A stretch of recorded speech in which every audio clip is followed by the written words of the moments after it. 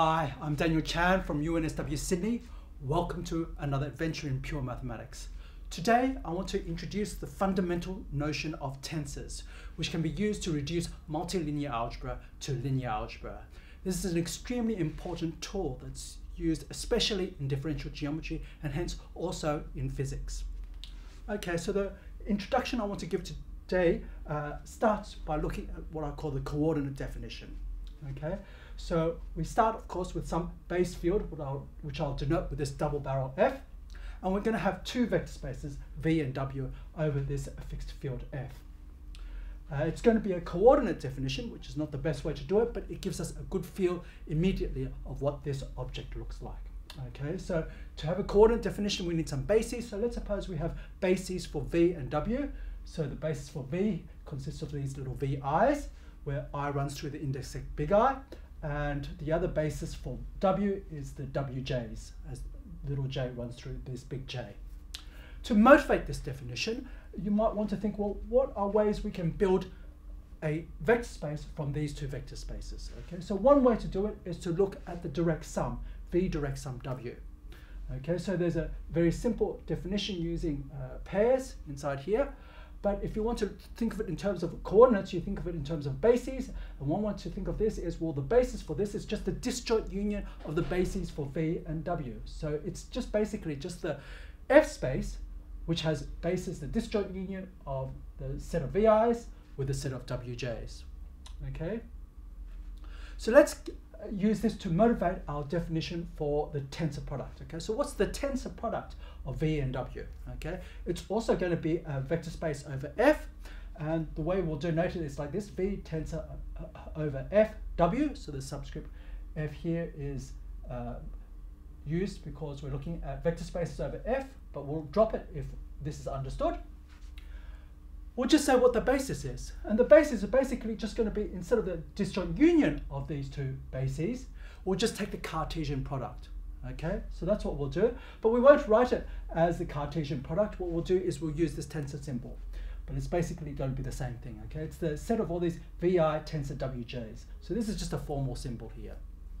Okay, so it's just uh, this uh, tensor product is this vector space with this basis. So what does that mean? Okay, so basically what that means is that since the basis, every element in here can be written as a linear combination of elements inside here. So this vector space is just formal linear combinations of elements uh, of these elements. Okay, so you can take an element Vi tends Wj, and you take linear combinations of these. So you sum over all alpha to the ij. So the notation that I'm going to use here is going to follow the ones that's commonly used in differential geometry. So these superscripts don't mean powers, okay? So this is fairly common and it's good to uh, try to get used to this uh, different uh, notation, which is often used, okay? So in here, this, these are just superscripts to uh, denote uh, different values of these uh, scalars, okay? Alpha, ij, they're just scalars inside f, okay? So these aren't powers. Of course, the bases might not be finite, okay?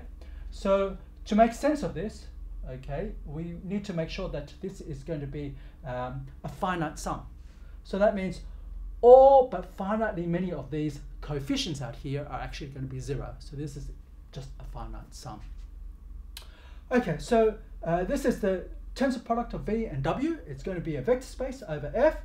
But it's a bad definition, and the reason why it's a bad definition is because it's defined in terms of a basis for V and for W. So if you're not given a basis for V and a W, then I guess you pick them, and then you always have to wonder well, is it independent of that choice, okay? But one thing good about this definition is it tells you straight away what it looks like, okay? So for example, you want to know uh, what does this vector space V tensor W look like?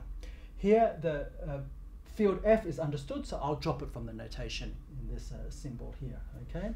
So I guess the key thing to understand a vector space is you just need to know what, it's, what is its dimension. So what's the dimension of V tensor W? Well, we've got a basis for it, so we just count the number of elements in the basis, okay? So what is the basis? It's essentially the Cartesian product of the basis for V and the basis for W. So of course that means that the number of elements in this basis is just the product of the number of elements in a basis of V, so that's the dimension of V, times the dimension of W.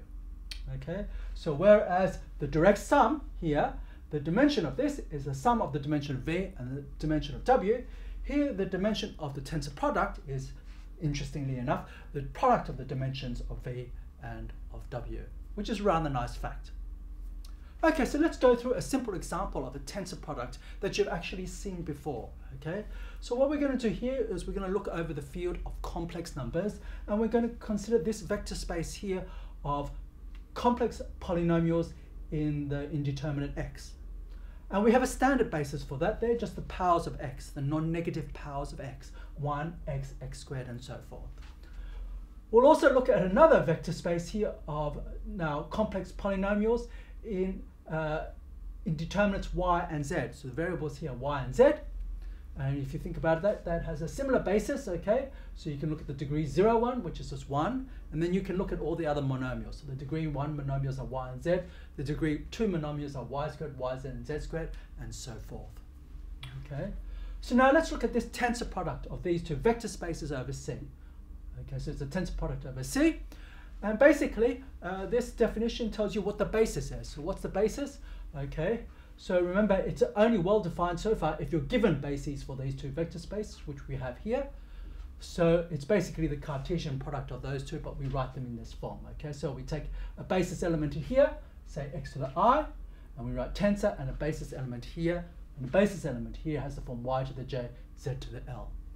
Okay, so this is the set of uh, basis elements for this vector space. Of course, if you rewrite this um, tensor here, as x to the i, y to the j, z to the l, you'll see that these basis elements correspond precisely to these monomials inside the polynomial ring of with complex coefficients in the variables x, y, and z. Okay, and these are of course a natural basis for this uh, vector space here.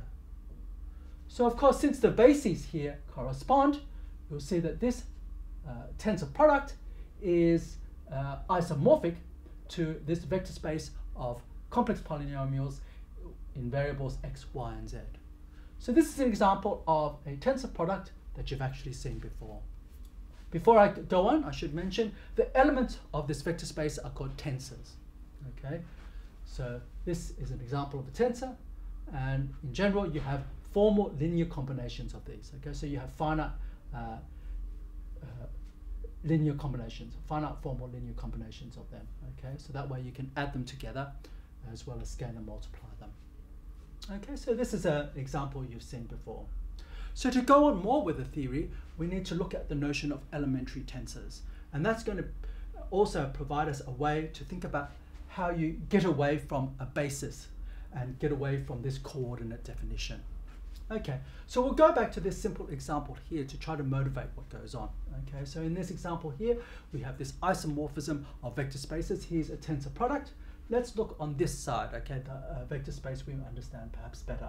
Okay, so what we can do inside here, okay, in this polynomial ring, uh, this vector space here, is we can look at uh, polynomials which you can write in a very specific form. It's a product of a polynomial in x times a polynomial in y and z. So the polynomial x you can write in this form, the sum of pi x to the i. Okay, and the polynomial in y and z you can write in a similar form over here, the sum of q j l y to the j z to the l. Okay. So let's multiply these two, and of course it's very simple how you multiply them. Here's your p of x, here's your q of y, z. To multiply these two, you just use the distributive law. And that gives you a double sum, sum over all the possibilities here, sum over all i, and the sum over all the possibilities here, which are all the possible j and l. And you multiply the coefficients together, p, i, q, j, l, and then you multiply the corresponding uh, monomials, so x to the i, y to the j, z to the l. Okay. And of course, this will correspond to something uh, inside the tensor product because these two vector spaces are isomorphic. Okay, so I just uh, replace this monomial here with a corresponding monomial. Okay, so these are corresponding bases, and the coefficients stay the same out here. Okay, so this x to the i, y to the j, z to the l is xi tensor y to the j, z to the l. So what I want to do is I want to generalize this to not just the tensor product of this with this, okay, but of any vector space V with W. So we'll go back to this notation here, okay? So let's suppose now you have any uh, little v inside big V, okay? So you can write it as a linear combination, alpha to the i, vi, and w inside big W, so w equals sum of beta j, wj. And I want to talk about the elementary tensor v tensor w. Okay, so we've seen something similar in notation, the basis elements vi tensor wj, uh, where the tensor factors are basis elements vi and wj. Now what I want to do is I want to define it when you don't put in basis vectors inside here, but arbitrary vectors of big V and arbitrary vectors of big W here. Okay. So what's that equal to? So in other words, this V here is this linear combination of VIs. This W is this linear combination of WJs. I want to do the same procedure here. I just kind of want to use a distributive law, okay? And if I just blindly apply this distributive law, that's going to give me my definition for an, a, a tensor, so an element in this tensor product, okay? So if I blindly apply the distributive law, I sum over all ij, and it's a formal linear combination of vi tensor wj. And what is the coefficient of vi tensor wj? It's just alpha i beta j, like that, okay? Now remember, all but finitely, finitely many of the alpha i are zero, and all but finitely many of the beta j are zero. So the true same is true here. Okay, all but finitely many of the alpha i beta j are going to be zero. Okay, so there's only going to be a finite uh, sum involved here. Okay, and so that gives you a notion of what's called an elementary tensor. Okay, it has the form v tensor w. And it's quite easy to see that the elementary tensors in this example here, if you think about elementary tensor, you've got a polynomial in x, tensor a polynomial in yz. Okay, when you go through what this is, it's precisely just uh, those polynomials in x, y, z that you can write in this special form, a polynomial in x times a polynomial in y and z. Okay, so it's generalizing that sort of notion. So if you understand this example well, okay, then you'll see what's going on here. And in particular, you can see that not every polynomial in x, y, and z can you write in the form of polynomial in x times a polynomial in y and z. But they are, of course, linear combinations of things of this form. Okay. So that's a, notion called an elementary tensor, one that you can write uh, uh, like this. Okay. So the example, so this uh, notation generalizes what you see over here, vi tensor wj. Okay. If the element v you picked here is just vi, and the element here you picked was just wj. Of course, you get vi tensor wj is that one single uh, basis element. And so in particular, that basis element is an example of an elementary tensor. Okay, so let's look at some basic properties of elementary tensors, which also show the relationship with multilinear algebra. Okay, so suppose we have vectors inside big V, v and v prime, and vectors inside w, w and w prime. Suppose we look at the elementary tensor uh, where the element inside v is a sum. So v plus v prime tensor w. Okay, in this case it turns out to be uh, related to v tensor w and v prime tensor w. In fact, it's just the sum of them. And similarly, if you have a tensor product v tensor sum sum w plus w prime, you can do essentially what's a distributive law type of uh, decomposition, right? This is V tensor W plus V tensor W prime. So th this means that uh, you have the distributive law, so that's something between the way you do tensor products and addition.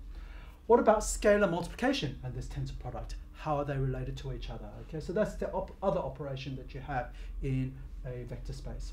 So in, suppose you look at this elementary tensor where you have alpha v instead of v tensor w, how is that related to V tensor W? Well, it's just alpha times V tensor W. So that's a rather nice sort of a, a theorem, which basically means that you can pull this out, and it doesn't matter how you write this symbol here. You can just write it as alpha V. Uh, you can remove the brackets and they'll look the same, and that's okay because they are the same Uh, vector inside that tensor product of vector spaces. Similarly, you can look at V tensor alpha W, and that's also related to V tensor W the same way. It's just alpha times V tensor W. And the proofs of these are very, very simple. I'll just do this first equation here. Okay, so suppose you have v plus v prime. v is this sum of alpha i vi, and this v prime is sum of alpha prime i vi.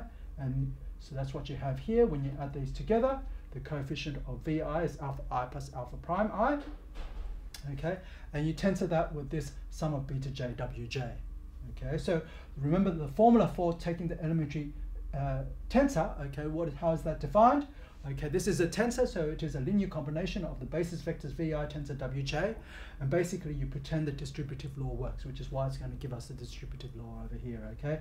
So uh, what you do is you just take the sum over all the possibilities here, i, and all the possibilities here, j, and you look at the products of the corresponding coefficients, alpha i plus alpha prime i times beta j. Now you can use the usual distributive law for numbers, for scalars inside our field f, to split this up as the sum of alpha i beta j v i tensor wj. That's what you see here, which is just v tensor w. And the other one is just uh, the alpha prime i beta to the j is the coefficient of vi tensor wj. That's what you have here, and that's v prime tensor w. And that is just a very quick proof of the distributive law, the left distributive law uh, for the tensor products here. Okay, so that's rather nice fact. Okay, so this actually gives us the link between multilinear algebra and tensor products. Because what this fact really just says is, that, uh, is that if we look at the following map from the Cartesian product V cross W, so this is just a function from V cross W to V tensor W, okay, that's no longer a linear map, but it's what you call bilinear. So the map here is it sends uh, the pair V comma W to V, the elementary tensor, V tensor W. That function there is a bilinear map. So what do I mean by a bilinear map? So this function is a function of pairs v comma w. To be bilinear means it's linear in both v and w. So for any fixed w, if I hold this w constant, okay, any w constant, and I look at this as just a function of v, then it's linear in that v. And similarly, it's also linear in w. So if I hold the v constant and I look at this as a function of w, it's linear inside that as well. Okay, so let's just see how that works. So to check uh, the statement, what we do is we hold either w or v constant. So let's suppose we hold w constant.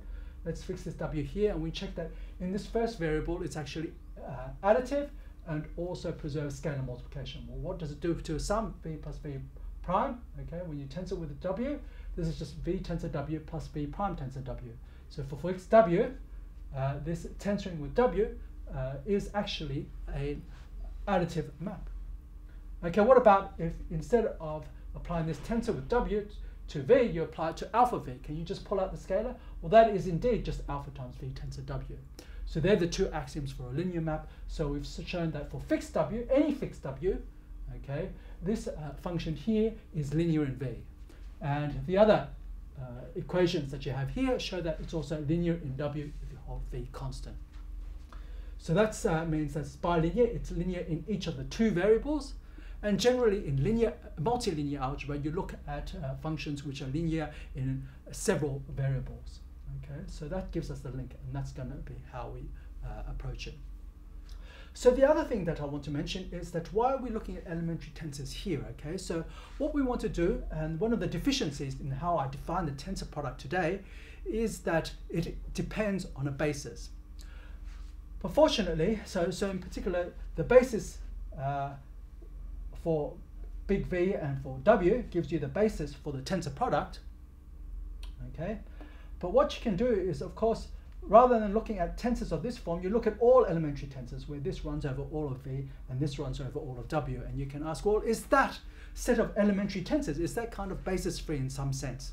And the answer is yes. And if you look back at that example that I gave you where we had, we, where we described the uh, vector space of complex polynomials in x, y, and z as the tensor product of complex polynomials in x and complex polynomials in y and z, we saw that the elementary tensors, it can be described independent of our choice of basis, okay? It's just a polynomial in x times a polynomial in y and z, okay? It didn't matter what basis we picked for the vector space of polynomials in x, nor what basis we picked for the vector space of polynomials in y and z, okay? It's just of that form where you can write it as a product of a polynomial in x uh, polynomial in y and z.